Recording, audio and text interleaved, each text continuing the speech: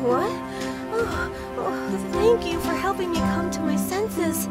Oh, someone tried to destroy all my notes on poisons and antidotes. Oh, it, it took me years to gain all that knowledge, and today I came so close to losing it forever. Oh. Oh, I wonder who did this to me and what their motives were. The last thing I remember before I plunged into darkness was was that exotic scent.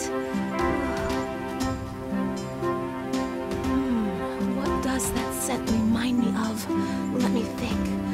Uh, all the members of the royal family use unique scented body oils. There must be a connection there. Come to think of it, Padme's body oil has the exact same scent as the arsonist's perfume. She's the king's second cousin. That can't be a coincidence. Here's my advice. Pay a visit to Padme. I believe she has some explaining to do.